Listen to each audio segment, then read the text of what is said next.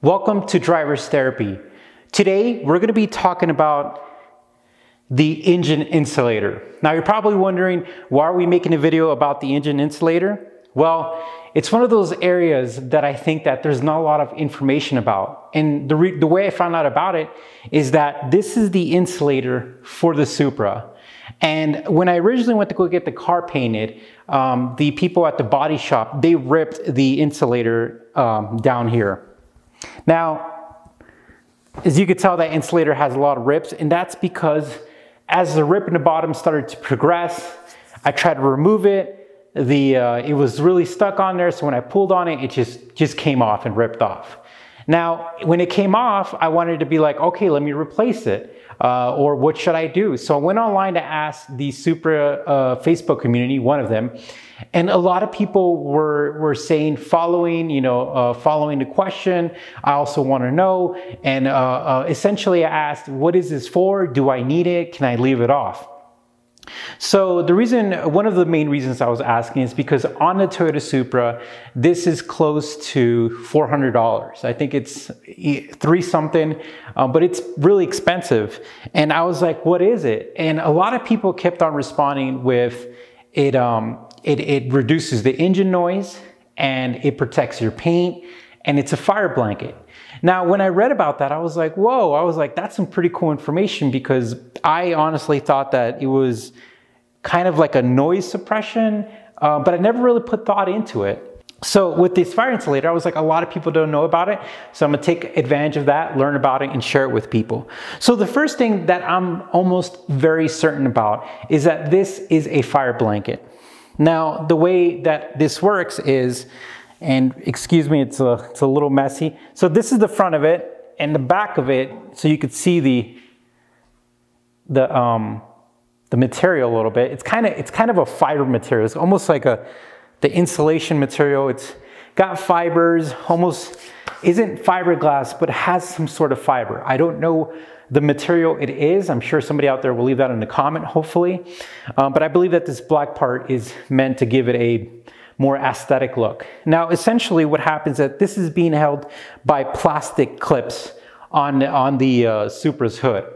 And essentially what they're saying is that if you're driving and if there's an unfortunate case that um, you have a fire in your engine, the plastic uh, a little push pins in there will melt and this will fall on the engine and smother it. So I was like, well, that's pretty cool. That makes sense. Uh, and that also makes sense because on a Supra, the exact same material, uh, meaning the yellow and the black, is against the firewall. And that definitely is uh, also, uh, we pretty much know that's a fire insulator. Uh, all, has a benefit of a noise insulator, and we'll talk about that here in a bit. Now, one of the things that kept on coming online, and I kind of wanted to debunk it, which is pretty cool, um, was that everybody was saying, if you remove this, um, your paint, your clear coat, and your paint's gonna bubble up because of the heat and stuff like that. And some of the most memorable replies that I got from that was, I actually saved them. I, I, am gonna probably post them up. I don't know quite yet in this video, but if I don't, essentially what they said was a lot of people have had these engine covers off and had zero problems with them. Now, a lot of people said if you're running a high horsepower car, you know, and if you have the, the turbine, you know, real close to, to the hood and you don't have an insulator, uh, that will cause issues. I actually read about people who have uh, bigger turbos and um, the insulators were burning at that point of contact. Um, it was burning this piece itself. Now, the main thing I want to debunk is that people were saying that it's going to damage the paint if you run it without an insulator. In my opinion, well, let's state a fact that I know that after all the research I've done, it is a fire blanket. And I believe that Toyota installed it in the car for the primary use of a fire blanket. Um, the second thing I think it's made for is noise reduction.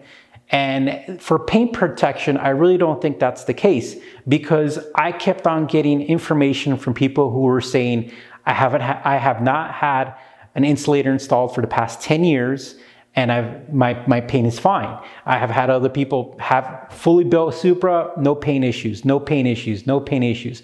The only time I came up with a response was somebody uh, who was high powered Supra and the top of their paint was fine, but in the inside it was showing um, some uh, some issues. It was showing some signs of some heat damage in there, but it wasn't displaying on top of it.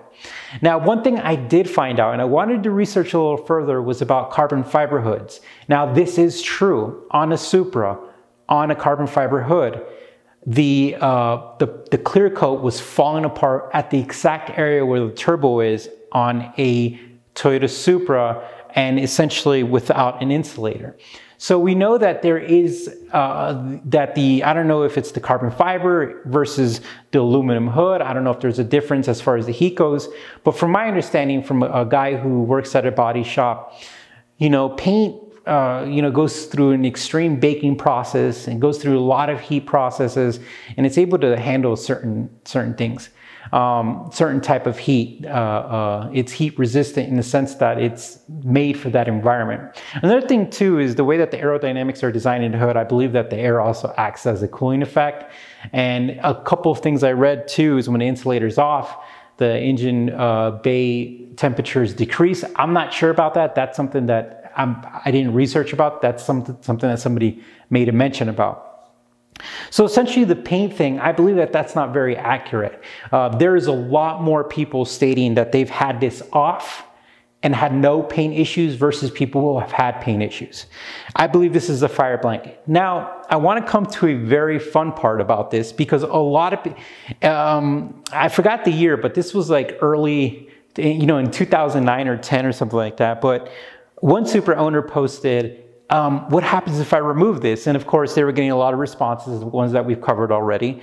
Um, but one of the main things that they were talking about was like, I removed mine and I could hear like my turbos spooling up like way more, or I could hear my engine bay way more, or I could even hear the twins whining way more. And I was like, oh no. So I was like, that'd be pretty cool in the sense of like, you know, engine noise is always fun in my opinion. I could see maybe some people not liking it, but I like some engine noise. So I was doing the same research while I took this off and I hadn't, I didn't have a chance to drive the car. So when I drove the car with, with the insulator off, I found it quite interesting that it was very true. The engine does sound, you could hear the turbos a lot more um, with this engine cover off. So the funny thing is, now I wouldn't recommend removing this. Um, for two reasons, and I'll get to that. But the funny thing is, when people were posting about how their engines sound without the insulator, people were like, I'm gonna go remove mine, I'm gonna go remove mine.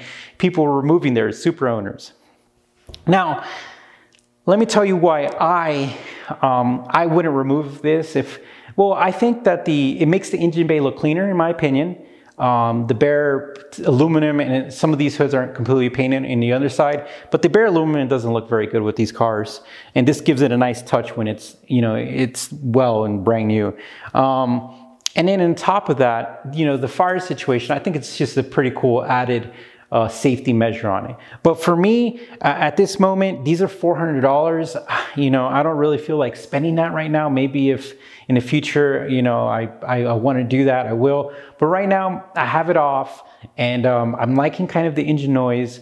And one more thing, there's a substitution for this. So if you if you guys out there, if you own a Supra and you're in the same predicament and you kind of worry about paint issues, clear coat issues, or you just don't like, you know, you don't want to take the risk.